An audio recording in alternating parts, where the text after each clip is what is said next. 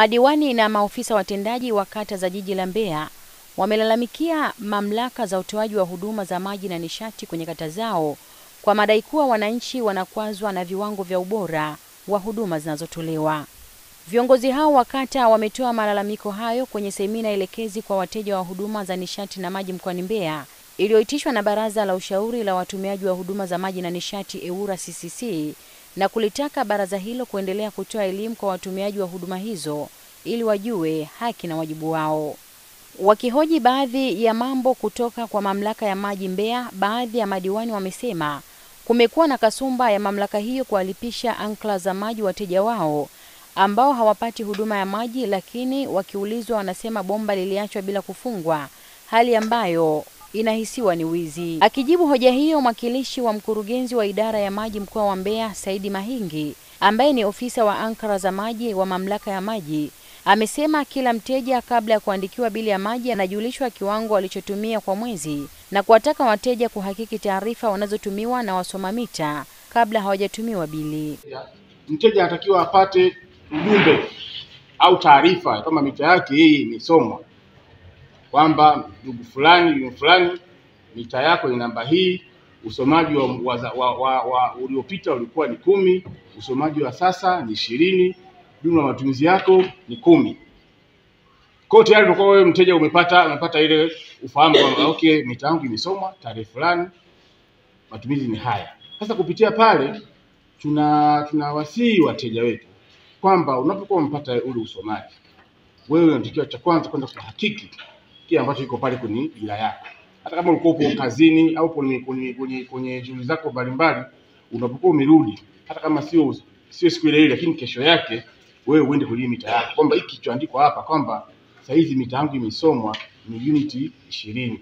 Je, ni sahihi? Ina maana kama imesomwa jana, leo umekuja asubuhi, hata kama itakuwa maji umetumia, lakini itakuwa bado ile ishirini na moja au ishirini na mbili. Kwa hiyo kuanzia pale utakuwa wewe umeweza kujua kwamba hiki ambacho ume- ume- umeletewa au bidi ambayo tarajiwa ni sahihi au sio sahihi.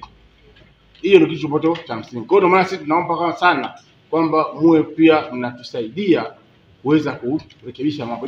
Wanaosoma hawa ni, ni binadamu.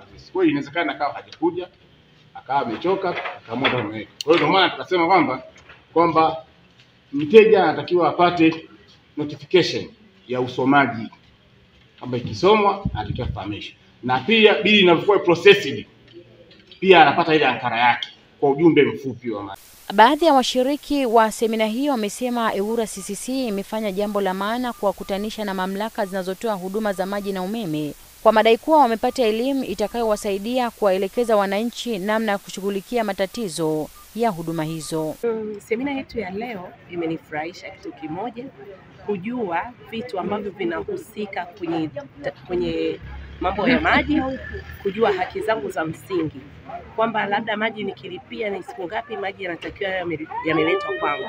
Endapo kama hajaletwa, niwe na nafasi ya kulalamika, niwe na uhakika na kitu ninachoenda kukilalamikia. Huko nyuma mimi nilikuwa sijui kitu chochote, kwamba kuna haki zangu za msingi ambazo ninaweza nikalipwa kwenye stahiki za maji, za umeme na vitu vingine. Lakini semina ya leo imenifungua kichwa, nimeifurahia semina. Asanteni sana wawezeshaji, tumewaelewa vizuri. Mungu awabariki. Kwa upande wa mwakilishi kutoka shirika la TANESCO Shamlameki akieleza kuhusu katizo la umeme linalotokea mkoani Mbeya mara kwa mara, amesema katizo la umeme hutokea ili kurekebisha miundombinu ya umeme. Cha kwanza ni wapongeze EWURA CCC kwa mafunzo mazuri ambayo ameendesha leo kwa wananchi ambao ni wateja wetu.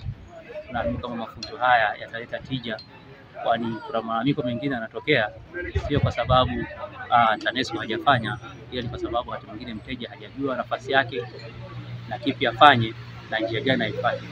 Kwa hiyo kimsingi yalikuwa ni mafunzo ambayo ni mazuri, lakini pia kwa upande wetu TANESCO naamini itasaidia na italeta uelewa kwa wananchi wengi, hasa swala la ukataji wa umeme pindi umeme unapokatika, uh, upatikanaji wa taarifa, lakini pia kujua kwamba wana wajibu wa kutoa taarifa TANESCO ili TANESCO iendelee kuwahudumia vizuri, kwa sababu wajibu wetu ni kuendelea kumhudumia mteja, lakini pia kumpatia taarifa, lakini pia mteja aendelee kupatia ushirikiano, lakini pia aendelee kuwa ni mlinzi wa miundombinu, kwa sababu katika kuingia kwa umeme ni hujuma za watu ambao sio waaminifu, lakini pia wananchi wenyewe wakati mwingine kufanya shughuli ambazo sio sahihi karibu na miundombinu ya umeme, mfano upandaji wa miti karibu na laini zetu uh, ni vitendo ambavyo vinaweza kupelekea umeme kukatika. Kwa hiyo tunaomba wananchi, lakini pia tunaendelea kuwasisitiza wananchi waendelee kuchukua tahadhari, lakini pia wasifanye shughuli zile ambazo haziruhusiwi ah, karibu na miundombinu ya umeme ili Katika kikao hicho jeshi la zimamoto limeshiriki, ambapo Athmani Lwasley amesema wamekuwa wakishirikiana kwa ukaribu na idara ya maji pamoja na TANESCO ili kuwasaidia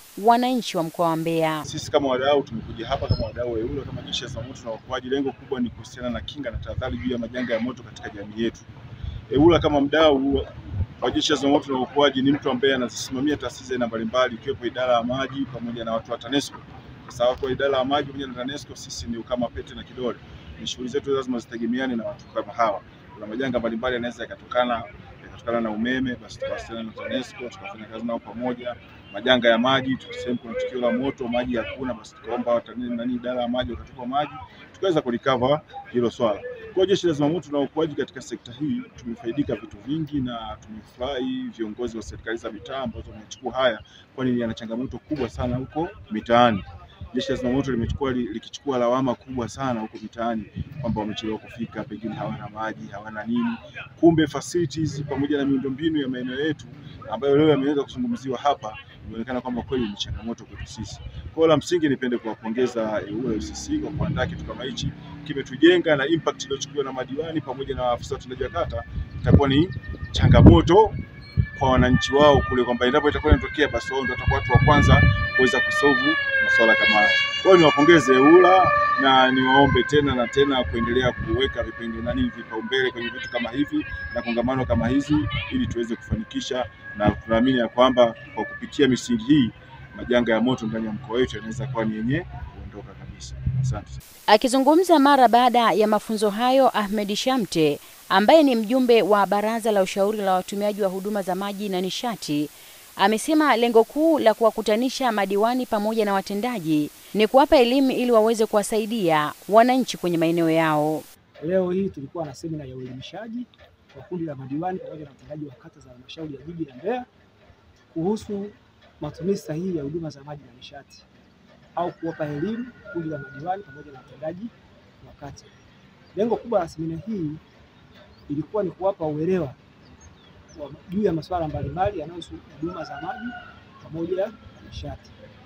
Tumeona tuchukue tuchukue kundi hili la madiwani pamoja na watendaji wa kata kwa sababu wao ndio wanao jukumu au wao ndio ambao wapo karibu sana na kundi kubwa la jamii huko kwenye kata zao ambako wanatoka.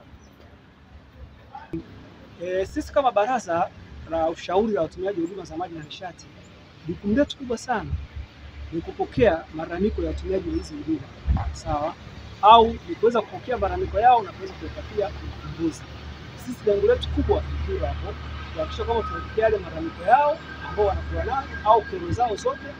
Lengo letu kubwa sana, watu wasinung'unike, waweze kulalamika, na kama wanayo malalamiko yao yaweze kupatiwa ufumbuzi. Hilo ni jukumu letu kubwa sana, ni kulinda na kutetea maslahi ya utumiaji wa hizi huduma ambazo zinadhibitiwa na sasa iwapo mwananchi ana malalamiko yake ameshapeleka kwa mtoa huduma, kwa mfano ni TANESCO au ni idara ya maji na hajapatiwa ufumbuzi, sisi kama baraza tunamshauri au tunamwelekeza kwamba aje, tutampa fomu, inabidi atuletee malalamiko yake.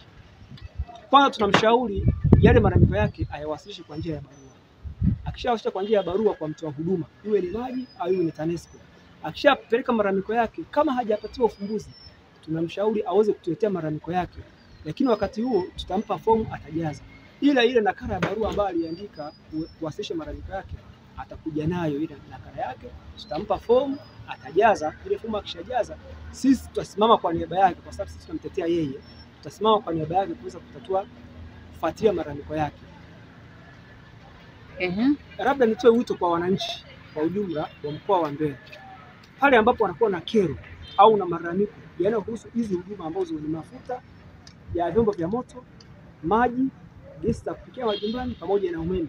Wanapopata kero zote zile, tunawashauri sana waweze kuwasiliana na sisi, sawa, waweze kutuletea yale malalamiko yao, wasikae kule na, na malalamiko yao, waweze kutuletea sisi ili tuweze kujua ni wapi tunaweza kuanzia, lakini tunawashauri sana wanapokuwa na haya malalamiko, kwanza watoe wa, taarifa. Elizabeth Nyakate